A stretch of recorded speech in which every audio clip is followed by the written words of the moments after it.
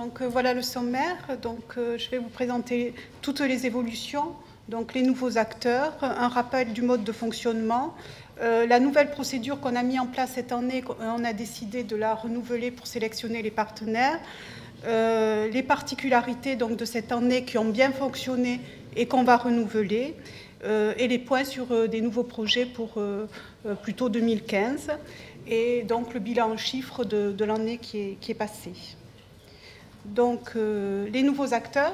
Alors à l'AG, euh, de, euh, quand on a élu le nouveau bureau, il y a Dominique Vérès qui est, qui est vice-président, qui s'occupe de toutes les relations extérieures.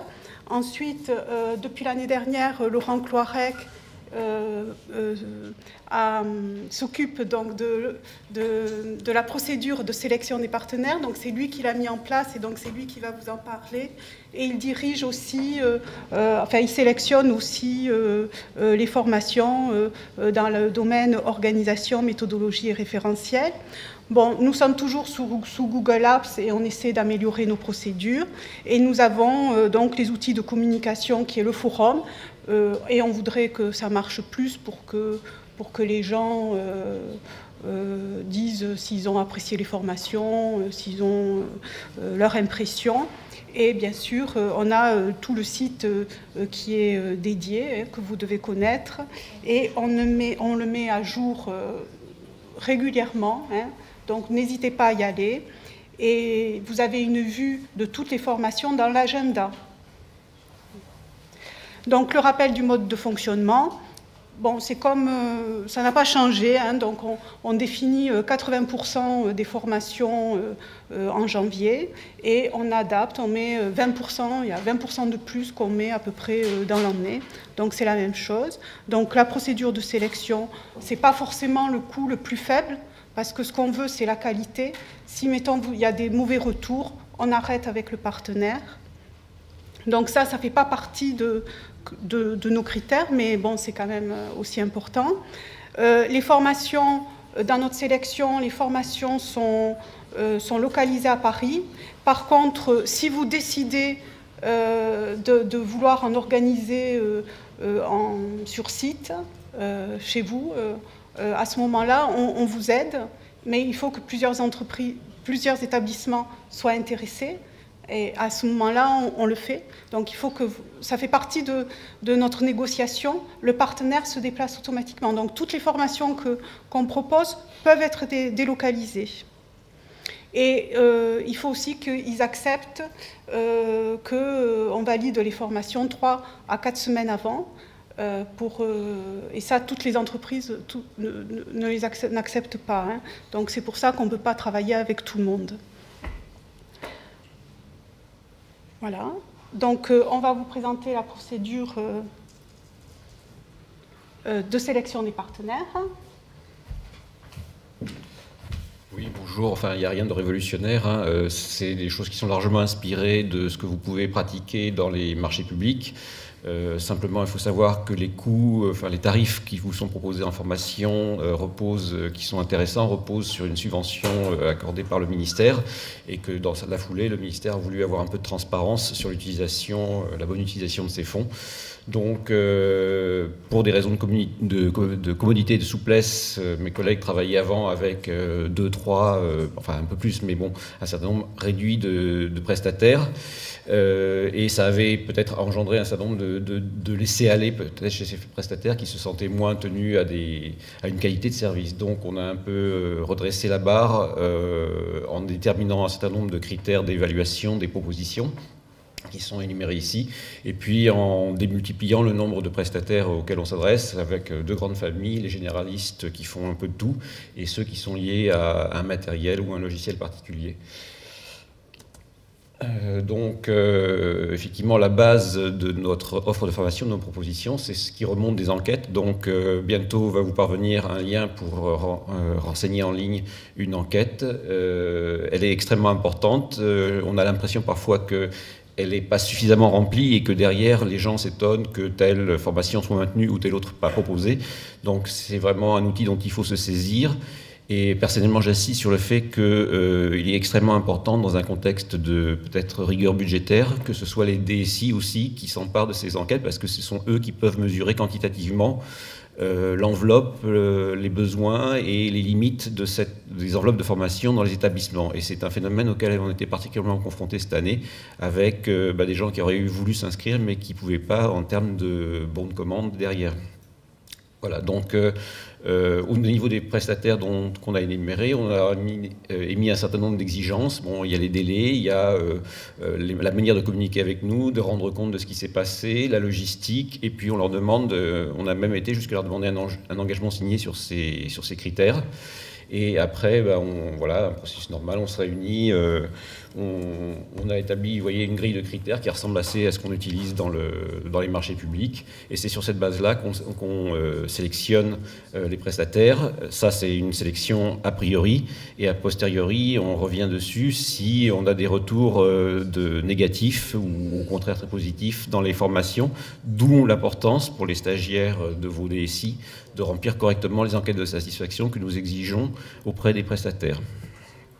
Euh, alors donc, j'insiste encore par rapport à des choses qui ont été dites hier sur la, formation, le numérique, la pédagogie, etc.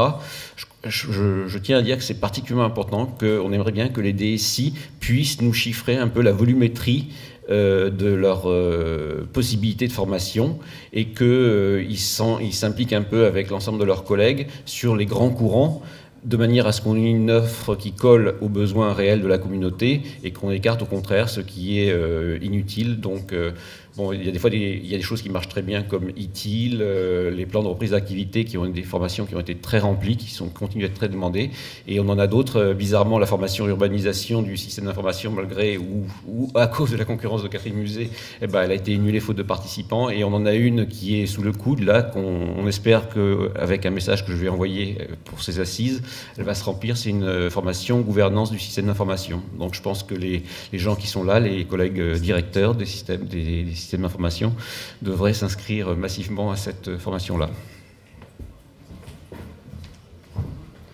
Euh, donc euh, la particularité de cette année, ça a été euh, un développement de formation à distance, donc l'auto-apprentissage.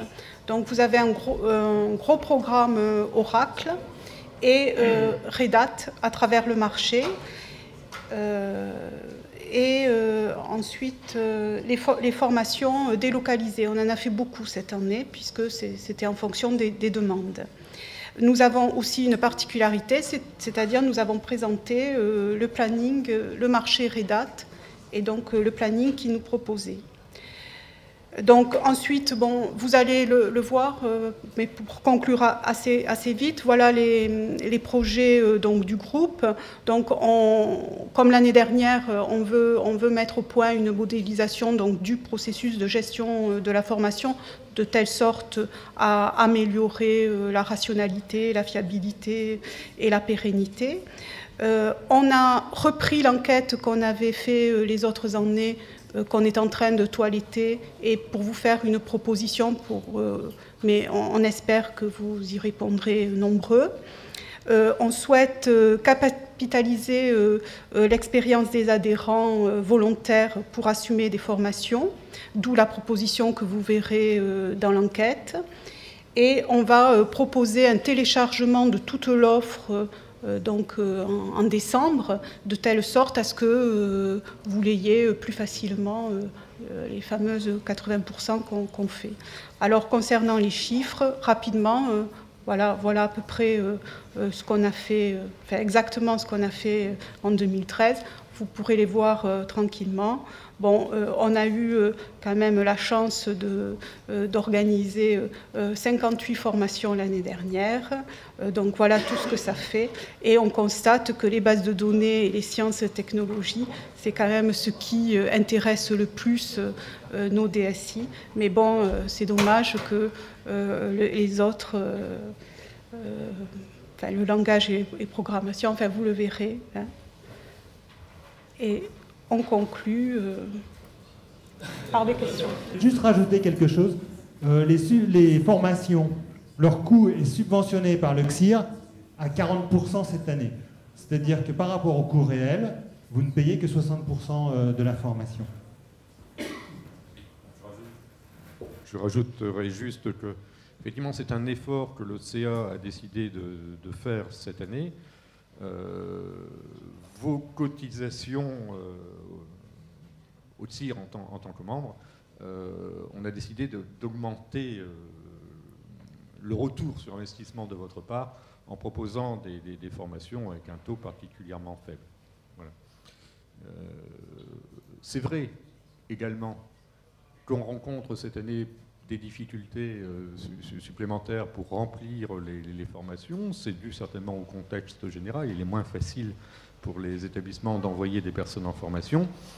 Euh, malgré la, hausse qu'on a constatée l'année dernière, plus 20% de, jours de formation créés, et encore une fois, bravo euh, à toute l'équipe, vous avez fait un travail formidable, mais il est toujours extrêmement désagréable de voir des formations qu'on est obligé d'annuler.